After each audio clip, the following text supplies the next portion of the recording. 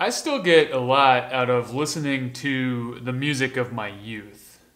I think most people do. In fact, it's commonly passed around that most people don't even listen to new music at all after they're in their 20s or so.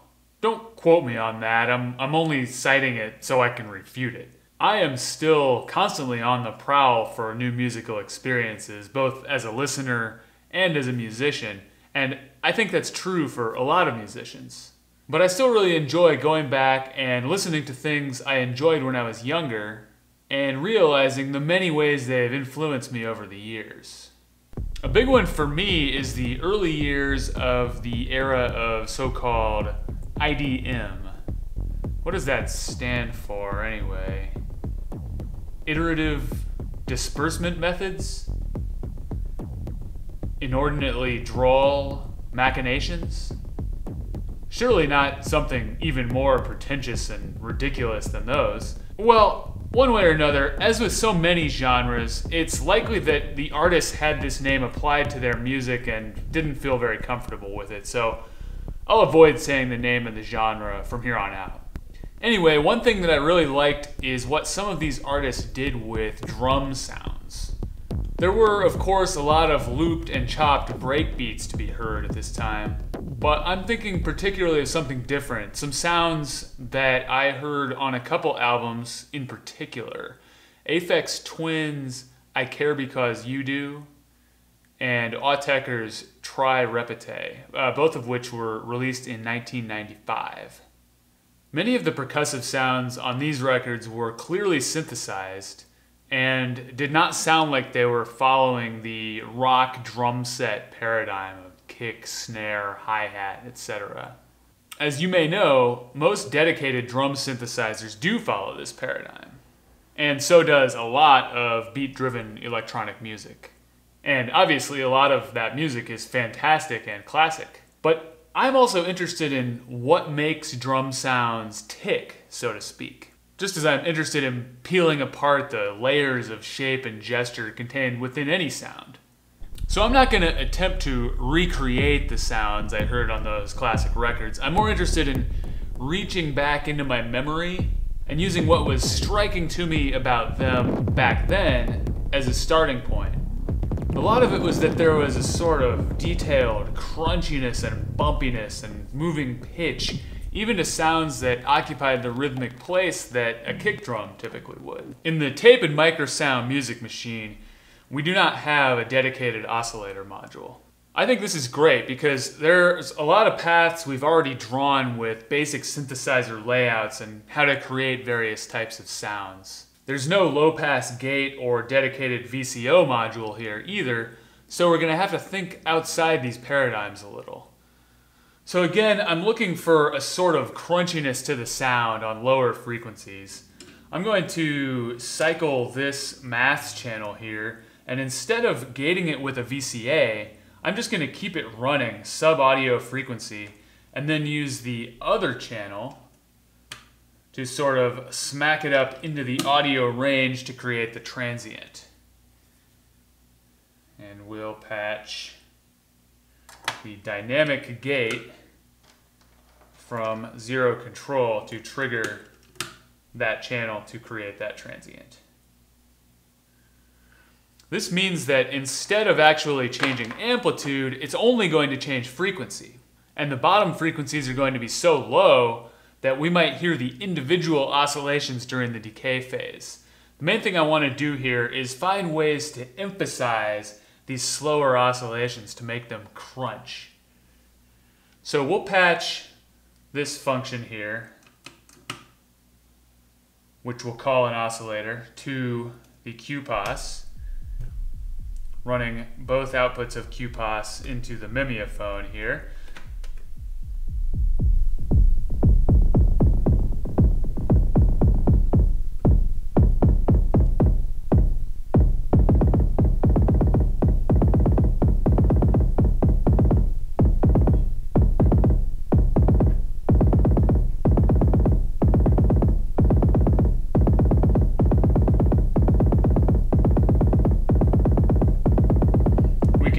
function controls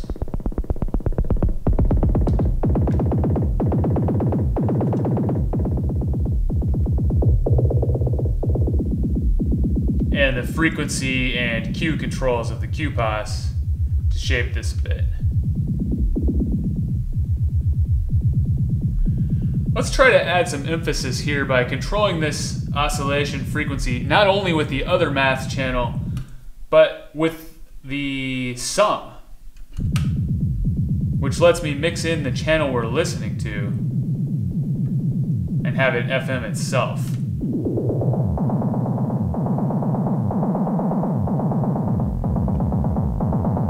Should make it a little spikier, so to speak.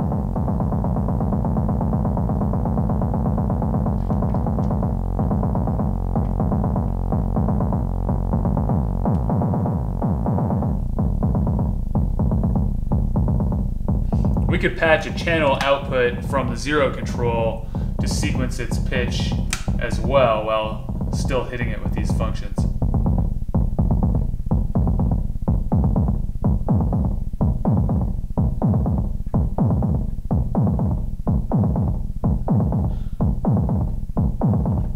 Since we're talking about feedback, let's also feedback the QPAS. I'm going to take the bandpass output and patch it to the FM input. Dialing in for the amount of extra crunch I want.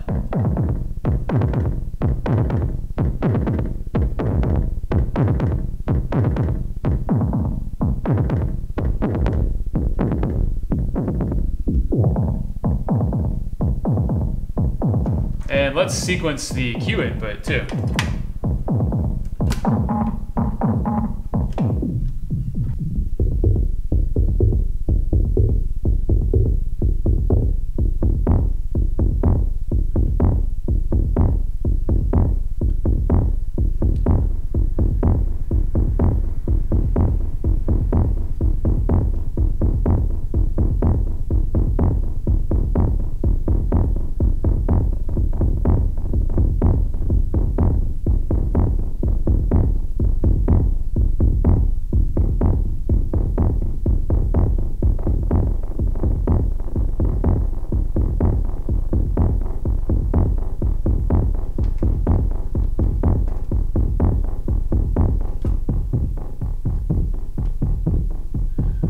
Also take the unattenuated function that we're using to shape the kick and send it to the unattenuated frequency input of QPAS.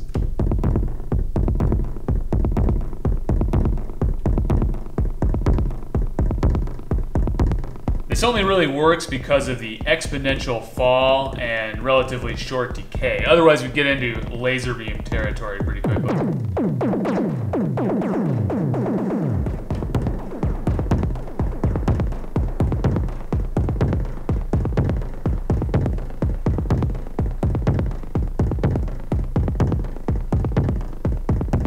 There are variations to be had here. We could switch to the end of cycle output for a square wave based sound.